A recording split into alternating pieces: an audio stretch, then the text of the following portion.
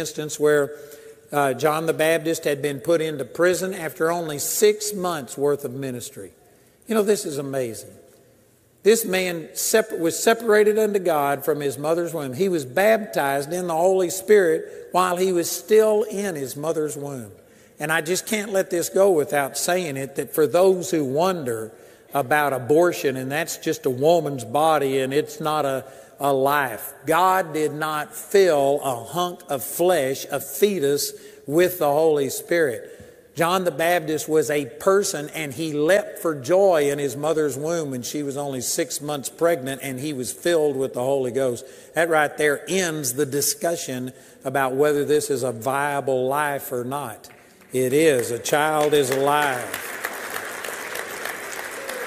And we've had over 60 million abortions in the United States, legal abortions, and we actually are in a position now to see that overcome. I don't know how many of you know, but the 1973 Roe versus Wade decision, the Supreme Court wrote in their decision and said this decision is being record, or being made based on the assumption that we don't know when life begins. And they said if it could ever be proven that life begins at conception, then that life in the mother's womb has just as much right to protection as any other person.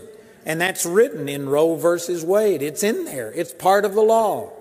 And since that time, there has been research done, and there are now multiple states that have passed a law based on uh, life beginning at conception. One of the most famous ones recently was in 2018. I think it was Ohio that passed that law. Is that correct? Anyway, Iowa, maybe. But they passed a law, and immediately the court system shut it down, and it's working its way towards the Supreme Court. And if the Supreme Court rules on this, now that we have a major uh, majority there, uh, it would be very easy to say that Roe versus Wade would be nullified, or at the very least, they would kick it back to the states to make their own decision, and this would end abortion as we know it in the United States. We've got a very good chance of seeing that happen. Man, that's something to praise God for. I tell you, that's awesome. There's over 60 million children been aborted in the United States, and worldwide, the United States under Obama, one of the, the very first thing he did as president was to encourage and send money to foreign uh, countries to encourage abortion. And there were millions worldwide. Who knows how many children have been killed and murdered? And praise God, we've got an opportunity to see that change. So I just couldn't help but say that. But John the Baptist was thrown in prison after only six months' ministry. He was filled with the Holy Spirit while he's in his mother's womb, and he didn't have a normal childhood like we did. He never went to school. He never had friends. He never got married. He was with a group of people called the Essenes, the people that wrote the Dead Sea Scrolls, and they lived in this desert area. And they were so legalistic, so strict, that their laws, they've actually, the people that wrote these Dead Sea Scrolls, they've actually got scrolls of their, what their life was like. And these people were so strict that did you know it was against the law for you to have a bowel movement on the Sabbath? That was part of their law. They considered that work. That's not an exaggeration. I'm not making this stuff up. This is the way that John the Baptist was raised. He was raised so strict, he was focused on one thing, and after just six months, get a picture of this. After six months, he didn't go into the population centers and start preaching. He was out in the desert. And he was just preaching to the scorpions and to the snakes. And somebody heard him and got touched, and they went and got another. And in six months' time, he turned not only the nation of Israel, but Idumea and all of the surrounding nations, everybody in that entire area was, they had the greatest revival ever recorded in history. Everybody was looking for the Messiah. G- John the Baptist paved the way for Jesus. It was important what he did. This is what his whole life was given to. But after six months' ministry, he got thrown into prison by Herod because he was outspoken and told Herod that what you've done is adultery to marry your brother's wife. And he was thrown into prison. And we don't know the period of time that he stayed in prison, but it was probably at least six months, could have been a year or two.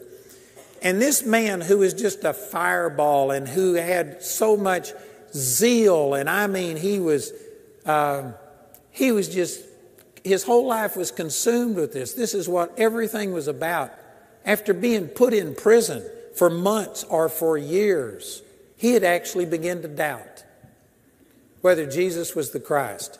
And this isn't just a minor doubt. I mean, this was what his whole life was about. If he made a mistake in saying, This is the Lamb of God that takes away the sins of the world, and when his disciples came to him, he says, He must increase, I must decrease. Follow him.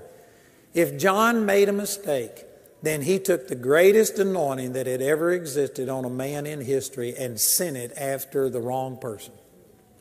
This was serious. This was a crisis situation.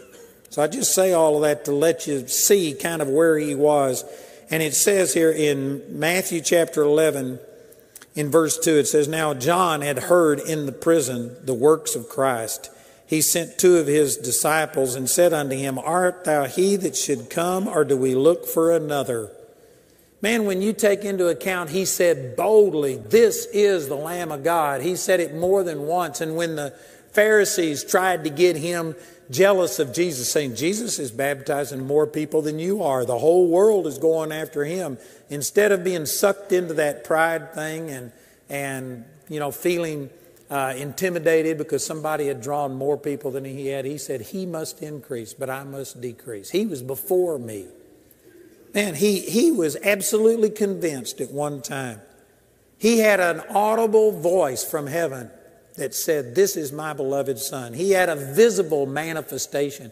You know, sometimes people will say it says that the Holy Spirit descended as a dove, and some people read that in Matthew's account and say it wasn't a visible manifestation. But if you read it in Luke's account, it says he descended in a bodily shape as a dove.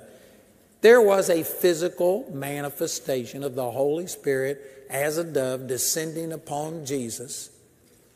He had an audible voice from God, a visible thing, a witness in his heart, a total assurance at one time. And yet, after being in prison for a period of time, he says, Are you the Christ or do we look for another? There's a lot of things you can get out of this, but one of them is that, you know what, it doesn't matter who you are. If you entertain doubt, you can doubt. It's like flying in an airplane and you think, man, look what I'm doing. I'm 40,000 feet. I'm going 500 miles an hour. Look at me. And if you ever turn off that power, I guarantee you, you'll sink like a rock.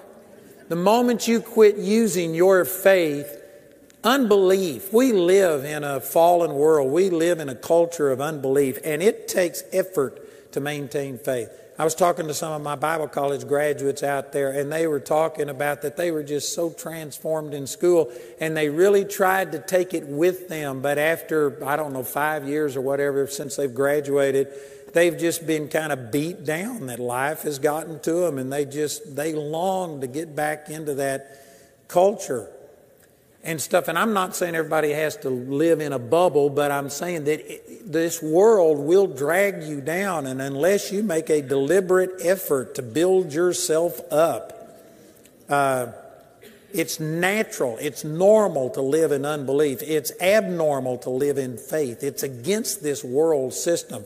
And here's John the Baptist, who is the greatest man. We'll get to that in a moment. Jesus said, This is the greatest man that has ever been born on the planet. And yet, the greatest man that had ever lived entered into doubt because of circumstances. And I'd have to speculate to figure out what all of it is. But just the hardship of being in prison, the desire to be reaching people. I know that if I was shut up in prison and if I couldn't be on television and putting out books and holding meetings and ministering to people, man, it would be misery. This is what I was created to do is to minister God's word and I can relate to some degree how this must have felt and it just didn't look like things were working out. Most people in these days believe that the Messiah was going to come and overthrow the Roman government. They got the second coming and the first coming of Jesus all confused as one, and they thought that when the Messiah came, he was going to establish his physical kingdom right then. We now know that the church age is in between his first coming and his second coming, and uh, so we now interpret it differently. But you can see a lot of instances where they just expected Jesus to put the kingdom into effect right then. And Jesus wasn't doing what John expected. He wasn't overthrowing the Roman government. He was preaching, you know, turn the other cheek, be merciful, that my kingdom's not of this world. And so, hope deferred makes the heart sick. If he had the wrong expectations, he was setting himself up to make his heart sick. So, from prison, he says, Are you the one that should come? Or do we look for another? And look at Jesus. He said, Jesus answered and said unto them, Go and show John again those things which you do, hear and see. The blind receive their sight, the lame walk, the lepers are cleansed, and the deaf hear, the dead are raised up, and the poor have the gospel preached unto them. And blessed is he whosoever will not be offended in me. You know, to me, for years, I thought about how does that answer this question? Are you the Christ? And he says, Go tell him what you've seen. And he'll be blessed if he doesn't, uh, if he's not offended. And here in verse 7 it says, And as they departed, Jesus began to say unto the multitudes concerning John. Keep your finger here, but look over in Luke chapter 7. This exact same thing is recorded there. And uh, there's, two diff- there's two major things I want to point out. It's the same story, they don't contradict each other, it just gives a little different look at it, a different insight. In Luke chapter 7 and in verse 18, it says, And the disciples of John showed him of all of these things. And John, calling unto him two of his disciples, sent them to Jesus, saying, Art thou he that should come, or do we look for another? When the men were come to him, they said, John Baptist has sent us unto thee, saying, Art thou he that should come, or look we for another?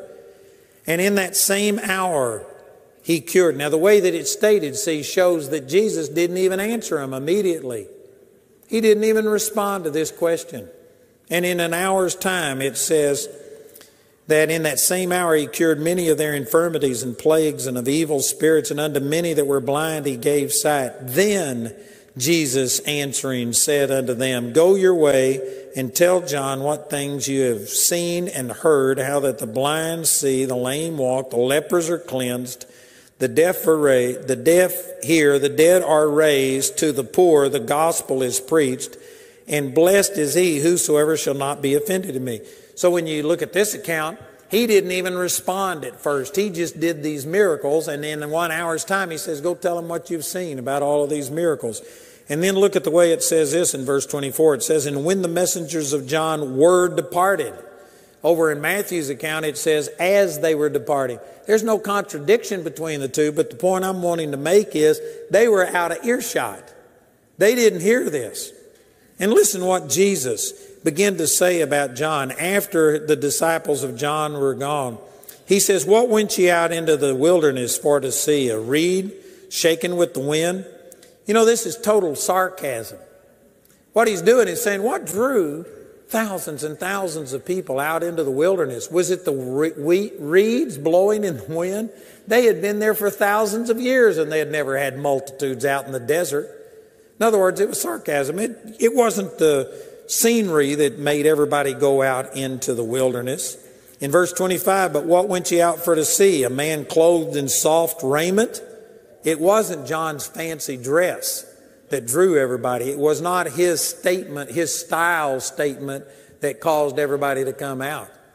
You know, I've heard it said that the only thing that smells worse than, worse than camel's hair is wet camel's hair. And John spent most of his time in the uh, river baptizing people. I mean, he was a fashion statement. It wasn't his fancy clothes that drew him out there. That's what Jesus is saying. He says, Behold, they which are gorgeously apparelled and live delicately are in kings' houses. But what went ye out for to see? A prophet? Yea, I say unto you, and much more than a prophet. This is he of whom it is written, Behold, I send my messenger before thy face, which shall prepare thy way before thee. You know what that is? That's a reference back to Malachi chapter 3. And this is the last chapter in the Old Testament written. And it was saying that before God comes, He's going to send His messenger that will speak. And He says He will turn the hearts of the children to the fathers and the hearts of the fathers to the children, lest I come and smite the earth with a curse. You know, I don't know exactly what that means. I've never heard anybody else teach on this, but I've studied it, and it looks to me like God said if John didn't come and accomplish his plan, and if he didn't touch these people, Jesus could have come and cursed the earth instead of redeemed the earth. Now, there's no doubt that God's plan was to send Jesus for the sins of the world, but there had to be some reception, and John was sent to prepare people's hearts lest God came and cursed the earth. So I say all of this to say that what John was doing was super important, and Jesus knew it. He quoted the Old Testament passage and said, This is the guy that we've been waiting for for over 400 years. You know, if you were discouraged, if you were in prison, and if you were feeling bad, how would it make you feel for the most important man on the earth, the one who was drawing multitudes of people? And stuff to say, this man is the greatest man. He's the one that was prophesied in the Old Testament. Jesus went on to say, He says, For I say unto you, among them that are born of women, there is not a greater prophet than John the Baptist, notwithstanding he that is least in the kingdom of God is greater than he. What a statement. You know, there was a time that Jamie and I were pastoring in Seagoville, Texas, and just, man, people were staying away from our meetings by the thousands. And we were struggling, and we were struggling financially through my own stupidity, but whatever the reason, it was, it was bad. This is when Jamie was eight months pregnant, and we hadn't eaten in two weeks, and we had nothing but water. And it looked like not only were we going to die, our child could die. I mean, it was a struggle. And I went over to a meeting in Fort Worth, and it was a. Uh, um, ICFM meeting, and Kenneth Hagin, Kenneth Copeland were there, Oral Roberts, all the big names. There was 2,000 people in this auditorium, and they had a circular auditorium, and in the center section, there was probably 25 or 30 seats in the center section without an aisle. And I was dead in the center, halfway back, right in the middle of the auditorium. And all of these people were praising God and they were all prophesying over each other and over their ministries. And I was sitting back there. Man, we were struggling. It looked like we might die. And I was saying, God, help. I just need help. And when they said, go greet somebody, Pastor Bob Nichols, who wasn't the speaker, but he was hosting the meeting at his church, he got up off the platform, ran down the aisle, pushed his way all the way into the middle, and hugged me. And he says, Don't quit. Don't quit. And he just kept he just kept hugging me. Everybody else in the entire place had sat down. We were the only two people standing up. And he was saying, Don't quit. Don't quit. And you know what that did for me? I mean, man, I thought, God, you know me.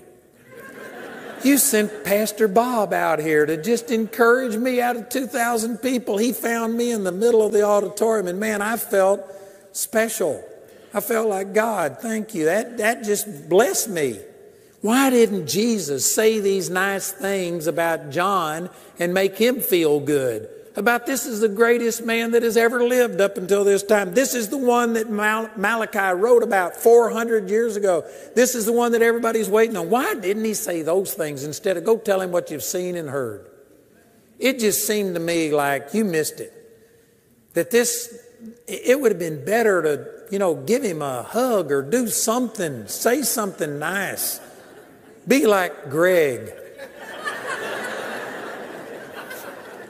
Just make them feel good. I never could understand why the Lord responded the way He did. And then one day, I was reading over here in Isaiah. This was years later. For years, I had this question. And in Isaiah chapter 35, I was just reading, I wasn't even thinking about John the Baptist, but I was reading these verses, and these were the verses that John the Baptist quoted and said, This is who I am, this is what God said. Man, there's a lot of scriptures about John the Baptist telling him what to preach, and this is one of them in Isaiah chapter 35. And it says in verse 3, this is God speaking to John the Baptist. He quoted these verses, so he knew these verses. And it says, Strengthen ye the weak hands and confirm the feeble knees. Say to them that are of a fearful heart, Be strong, fear not. Behold, your God will come with vengeance, even God with a recompense. He will come and save you. Then the eyes of the blind shall be open, and the ears of the deaf shall be unstopped. Then shall the lame man leap as an hart, and the tongue of the dumb shall sing. For in the wilderness shall waters break out, and streams in the desert. And as I read this, the Holy Spirit just showed me that what Jesus was doing, instead of just giving John the Baptist a compliment, an emotional hug that would have made him feel good for three days, as Greg was talking about. Instead, you know what he did? He pointed him back to the Word. John, what does the Word say about the Messiah? What did the Word say would happen when the Messiah come? And you know what? He did everything that was prophesied in Isaiah chapter 35 in one hour. He fulfilled all of these things. Opened up the eyes of the blind, the lame walked, the deaf heard, the dumb taught, and he raised somebody from the dead that wasn't even prophesied here. He just threw that in so there could be no mistake that this was God. In other words, he sent him back to the Word because, and get this, because he respected John the Baptist so much. He said, This is the greatest man that has ever lived. In Luke, it says the greatest prophet. In Matthew, it says the greatest man that has ever lived. He was greater than Moses, greater than Elijah, greater than David, greater than Isaiah, Ezekiel, Daniel, you name it. John the Baptist was the greatest man that had ever lived. Jesus honored him so much that he didn't just come down to his level, he was bringing John the Baptist up to his level. The Bible says in Hebrews chapter 11, verse 6, without faith it's impossible to please him. For those who come to him must believe that he is, and that he is a rewarder of them that diligently seek him. And faith comes by hearing, and hearing by the word of God, Romans 10 17. So God was trying to bring him up to faith by pointing him back to the Word. You know, most of us, if you were discouraged and if you had two doors up here and one of them says a hug or, you know, however you want to describe this, a good feeling, a goosebump, you know, the power of God hitting you from your head and going through your feet and out your toes. If that was available in one door and the other one says the Word, the promises, most of us would run for the door that has the emotion and all of these physical things in it. And the bad thing that's wrong with that is that your emotions don't last. I've had emotions probably more so than most people. That's a relative statement. I know it's subject to everybody's interpretation, but I've been caught up into the presence of God. I've felt the love of God. I've been emotional to the max, but it didn't last. And I don't believe God wanted it to last. Without faith, it's impossible to please Him. God doesn't want me to live just on an emotional level. Now, I've, I've enjoyed what's going on here. I've been praising God. I feel the presence of God. It's not like I'm immune to feelings, but feelings don't dictate. When they come and they're good, I enjoy them. But you know what? I'm going to do what God's Word says, whether I feel like it or not. I've learned to pray for people and not go by how I feel. Some of the greatest miracles I've ever seen have happened when I felt nothing, and I've learned to keep my mouth shut and not say what I feel. I say what I believe. I remember praying for a woman in Chicago that was so bad that they uh, could not bring her down to the meeting. They brought her to the hotel and she was in a wheelchair. She was kind of in a stretcher, a wheelchair that leaned back and stuff. Was like a bed. And she only had days to live, according to the doctors. And so they brought her, and she was so bad. She was in so much pain. Cancer had just eaten her up. And she could she could just barely talk. She had so much pain. She was on so much painkillers that she was just in and out of it. And as I tried to talk to her, she would start to say something and she'd fall asleep. And when her chest, when her chin hit her chest, she'd wake up and finish her statement and stuff. And she had only been listening to me for one week on television. And her family had never listened to me. They just were humoring her to bring her. So this woman had only heard a couple of days worth of stuff. She knew nothing about the Word of God. She was so far gone. She was doped up, couldn't even function. And I tried to minister to her, but she couldn't understand anything. So I just prayed for her. And the guy that was with me when we left the room, I came that close to saying, This woman's going to die. Because she just didn't have time. She wasn't there. It was too little, too late. And I just nearly said that, but I've learned not to speak forth anything contrary to what I prayed for. I didn't pray that she'd die, I prayed that she'd get well. And if I prayed for that, I wasn't going to speak contrary, so I didn't say anything about it. And two months later, I was in Houston, and a woman came running down the aisle and jumped up on the stage while I was ministering and says, Do you remember me? And I said, No. And it was that woman and God had raised her up. And I didn't feel a thing. I felt like she was going to die. I've learned not to go by how I feel. If I feel great, I enjoy it and I praise God for it. But if I don't feel anything, I'm still going to say and do and act what the Word says regardless. And this is what Jesus was trying to do, is to bring John out of that depression, out of the doubt that he was in, not by just saying something complimentary about you're the greatest man that's ever lived. Although that would have blessed John, it would have worn off. It wouldn't have lasted. It was because Jesus honored John so much that he didn't just give him an emotion. Man, when the Lord showed me this, this changed my life because I was raised in a Baptist church, and in the Baptist church, all of the miracles, you know, passed away with the apostles. God didn't do miracles today, and He didn't directly speak to people. All you did was get saved and stuck until you went to go to be with Jesus.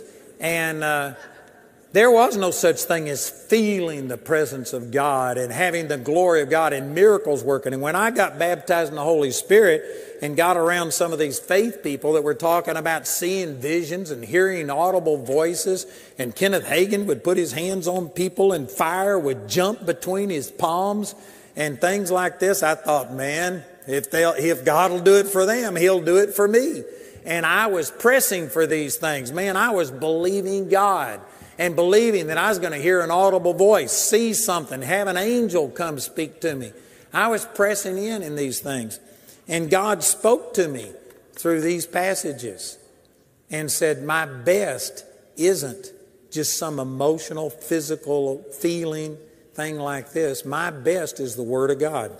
You know, go back over to uh, Luke chapter 7 and look at the first part of this chapter is where the centurion, Greg mentioned this this morning, but the centurion came and uh, said, Jesus, my servant lies at home sick of the palsy. Come and heal him. And Jesus said, I will come. And then he sent another servant and he says, Look, I don't need you to come into my house. I don't need you to touch the man. You speak the word only, and my servant shall be healed. And um, he said in verse 9, Jesus said, I say unto you, I have not found so great faith, no, not in Israel. If you read this same passage in Matthew chapter 8, he, it says he marveled at this man's faith.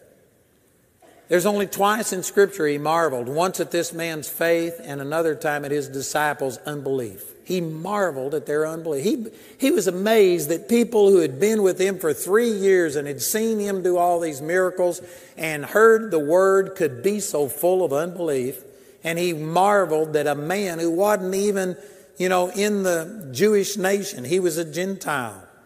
We would say today, he doesn't even go to church, he's not a Christian, that he could have such great faith. What made his faith so great? It was a faith that was based in the word only. You speak the word only, and my servant shall be healed. Now, contrast that with John chapter 20 And this is after Jesus rose from the dead.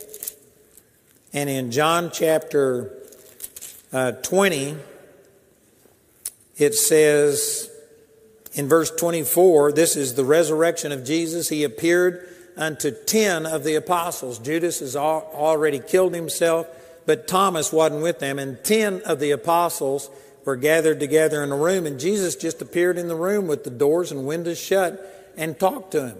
And man, they were excited, and it says that they uh, came and told Thomas about it. But in verse 24, it says, But Thomas, one of the twelve, called Didymus, was not with them when Jesus came. The other disciples therefore said unto him, We have seen the Lord. But he said unto them, Except I shall see in his hands the print of the nails, and put my finger into the print of the nails, and thrust my hand into his side, I will not believe. Notice, he said, I will not believe. If you struggle with unbelief, you have willed to do that. It may not have been a rebellious will. It may have not have been like, I just don't like God and I'm going to operate in unbelief. But no, it was your choice. You had to choose to believe all of the stuff that's been told you. You had to believe. You had to choose to believe that only what you can see, taste, hear, smell, and feel is real. It's your choice. You willed it. And you can will to change. Thomas said, I will not believe unless I can see and touch. In verse 26, and it says, After eight days, again, his disciples were with him, and Thomas with them. Then came Jesus, the doors being shut, and stood in the midst, and said, Peace be unto you. Then said he to Thomas, Reach hither thy finger, and behold my hand, and reach hither thy hand, and thrust it into my side, and be not faithless, but believing. If he commands you not to be faithless, well, then you can do it. He wouldn't command you to do something you can't do. You can will to believe. You can choose to be in the Word of God. And if you get into the Word of God, it will bring faith to you, and you can operate in faith. And so he says, Don't be faithless, but believing. And Thomas answered and said unto him, My Lord and my God. Once he saw, he didn't ever stick his finger into the print of the nails or thrust his hand into his side. He knew Jesus had answered everything he said without being present when he said it. He knew that this was Jesus. He fell down and said, My Lord and my God. And look at what Jesus said in verse 29. Jesus said unto them, Thomas, because thou hast seen me, thou hast believed. Blessed are they that have not seen and yet have believed. There is a greater blessing on taking the word and believing it. That's the word, that's the faith that made Jesus marvel is a faith that says, I don't need to see it. I don't need to feel it. You give me a word and I'll believe. Jesus said there's a greater blessing on those who believe the word than on those who have somebody come up and have to prophesy and tell them things and confirm everything and give you three visions and you know two cats walk this direction and three dogs walk the opposite direction and that proves to me. And god if you'll just have five people come and say this to me i'll know that it's you. You know god loves us so much he will meet people where they are but that is not god's best. There's a greater blessing on those who believe the word. And when i saw this my whole prayer life changed. I thought god i want your best. I don't care if I ever have anything supernatural happen. I'm going to trust the Word of God. And I committed myself to making God's Word absolute, dominant authority in my life. And did you know from that time, I could be at a meeting like this and they could go down the road prophesying over every person and they'd come to me and skip me and go on. And some people think, well, boy, God doesn't love you. No, God honors me. I'm trying to believe for His best. And I mean, everybody will get a prophecy other than me. And that's not to say that I won't receive a prophecy. I, I had Pastor Bobby uh, Ray give me a prophecy this morning. Got it right here in my pocket someplace. It's awesome. It says, Debt is paid, balance zero. I got it. So I'll receive it, but I'm saying I don't get a lot of prophecies. I don't get a lot of other things because God, I've taken Him as at His word, and He's taken me at my word, And I'm just believing what the Word says. And I'm telling you, brothers, I'm seeing great miracles happen.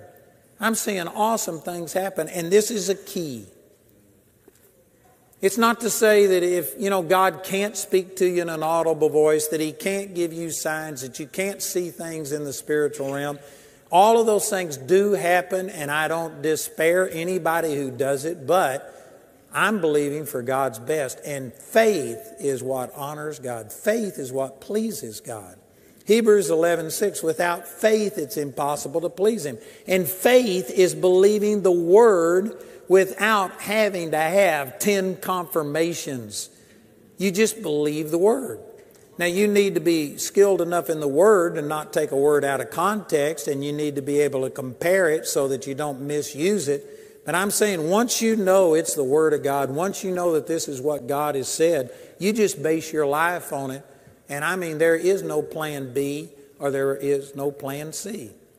That's what we've been talking about all weekend is just putting God's word first in your life. The kingdom of heaven functions off of the word of God the way that this natural world functions off of seeds. And John the Baptist, it doesn't tell us what his result to this was, but I believe he may have pondered it a little bit about here I am in a desperate situation asking for help, and Jesus just says, Go tell him what you've seen and heard. And he may have wondered about that, but I can guarantee you that the Holy Spirit that he was filled with in his mother's womb brought him back to those promises that he quoted from in Isaiah chapter 35, and the connection was made that what could Jesus do to fulfill the prophecies about the coming Messiah more than what he's done? Is there anybody else that could have done this? And he pointed him back to the Word and he anchored his faith to the Word. And I personally believe that John the Baptist went out with a shout. He went out knowing that I did the right thing. My life wasn't wasted. I pointed people to the true Messiah. And I believe that when Herod beheaded him, man, he was ready to go because he knew that he had run his course. And I'm telling you, brothers and sisters, the only thing that's ever going to give you total satisfaction is to base your life on the Word of God. Feelings come and go, feelings are up and down. And you just can't, you can't base your life on feelings. You can't base it on external things. All of us go through cycles. You know, when Jimmy Swaggart and Jim Bakker got exposed for the things that they did and and Jim Bakker went to jail, and Jimmy Swaggart was exposed sexual things and stuff. Did you know that my income went down 40 to 50 percent because of what they did? I didn't have anything to do with it. But people put all media ministers in the same basket, and they just thought you can't trust them. And I took a hit. It didn't have a thing to do with me. I did not cause that.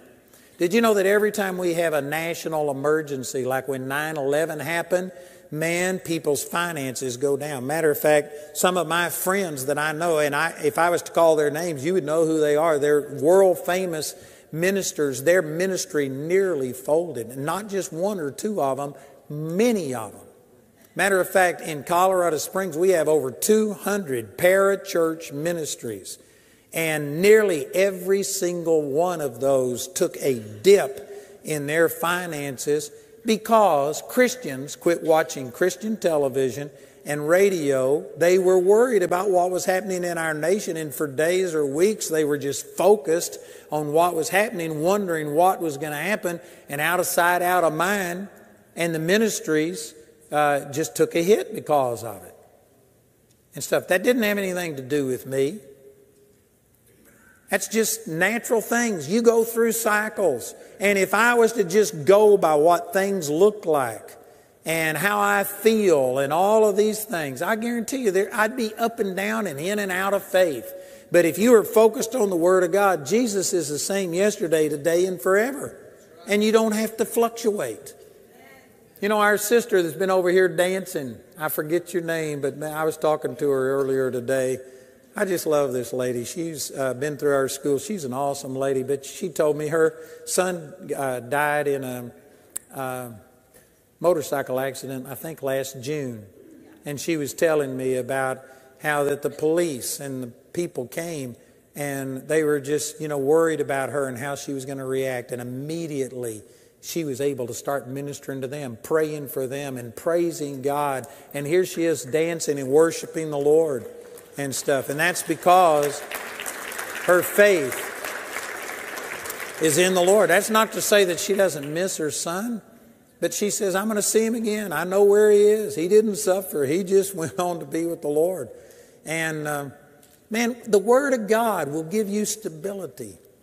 You know, Jamie and I had something happen to us that Paul Harvey shared it on his entire worldwide broadcast. And I remember Wendell came over the next morning. He and Linda drove up and says, You know, we've taken care of your classes. You don't have to minister in uh, school today. And uh, Paul and Patsy were with us 1996 when this happened. And you know what? I told them, I said, No, I'm going to minister. And they said, You can't minister after what's happened to you. And I said, Why not? I'm not going to tell them about who I am. I'm going to tell them about who Jesus is. I said, Jesus is the same. And I went to school and I ministered four hours in school. And I know some of you, you can't do that. You can't do that if your life is based on the Word of God and not based on how you feel. I don't care how I feel. I mean, well, let me rephrase that. I do care how I feel. I don't want to feel bad, but I am not going to let how I feel dictate how I act and what I believe.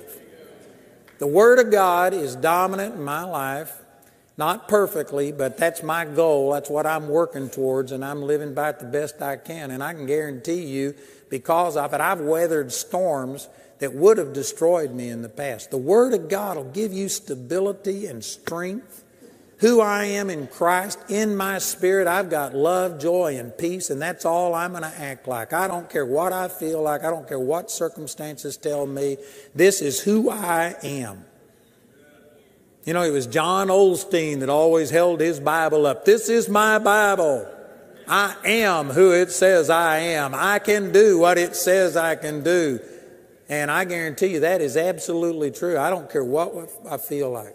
This is what we want you to leave this uh, conference with is the integrity of the Word, the power that's in the Word of God to transfer your life from what you feel and how you process things in the past to this is who I am. When somebody comes up and says, How are you? instead of saying, Oh man, I hurt all over. I've had this happen. I'm so poor. I can't pay attention. And you go on and you just uh, mention all of these things. Instead, you need to say, well, let me see right. Oh, Ephesians 1 3, I'm blessed with all spiritual blessings. Amen. I'm above only and not beneath. And I've had people come up and they, they know bad things have happened in my life and they say, How are you? And I say, I'm blessed. And they'll say, I, I know that, but I want to know how you really are. And I say, I'm really blessed. Amen. I am blessed. Somebody, well, I'm just trying to be honest. No, you're just being carnal. You're just saying how you feel. That's not the real you. You've been born again. There's a new you on the inside that is full of love and joy and peace, long suffering, gentleness, goodness, faith, meekness, and temperance. That is the real you. So when you say, I'm just trying to be real, what you're being, actually, it depends on who you consider you are if you think that this physical body and how it feels and your mental emotional state is the real you, then you're a hypocrite to sit there and say, I'm blessed, when the truth is you feel like crying. But you know what? If you consider your born again self to be the real you, you're a hypocrite to go there and indulge your feelings. And I'm not saying that God hates you for it. It's not bad. that, that is how you feel, and God understands. He knows the infirmities of our flesh. He's not mad at you for doing it. But you are living out of your flesh instead of living out of your spirit. Your spirit never has grieved, ever. It is full of love, joy, and peace. It's never discouraged. It's never fearful. It's never full of unbelief. So it just depends on who you consider you are. If you think this physical, natural you is the real you, well, then you're a hypocrite to go say, I'm a world overcomer. God always makes me to triumph. Well, then that would be hypocritical. But if you consider the, what the Word says about you, and if you what it says in the Spirit that you are an overcomer Greater is he that's in you than he that's in the world. Well, then you're a hypocrite. To sit there and indulge your flesh and let it control you and your feelings when on the inside you are identical to Jesus. 1 John 4 17, as Jesus is, so are we in this world, not just in the world to come, but in this world. Your spirit is ounce for ounce, molecule for molecule, atom for atom, identical to Jesus. You've got His life, His nature, His faith, His healing power. That's who you are. And you've got to get to where you base your life on the Word of God instead of just wanting an emotional hug. Now, am I saying that that's wrong for somebody to hug you? You know, when Karen got up here and admitted that, man, she's felt like quitting, I gave her a hug. And there's nothing wrong with that, but I guarantee you my hug's not going to last her too long three days. It's the Word of God that's going to carry Karen through. It's the Word of God that is going to make the difference in her life. And yes, we need each other, and yes, we need other things, but you shouldn't ever get to where you become codependent on something in the flesh. It's wonderful to have people love you. It's great when people come up and thank me. And I had a couple come up and say that their son is out here. I forgot what job he's doing, but he's doing some job. And they said, Thank you, we've got our son back. I don't know the details, but their son was way off the rails and he came to school and now his life's back and they were just thanking me. That's wonderful when people do that. It makes you feel good. But you know what? That's not going to last me next week. I'm going to have to base my life on what God's Word says. There will be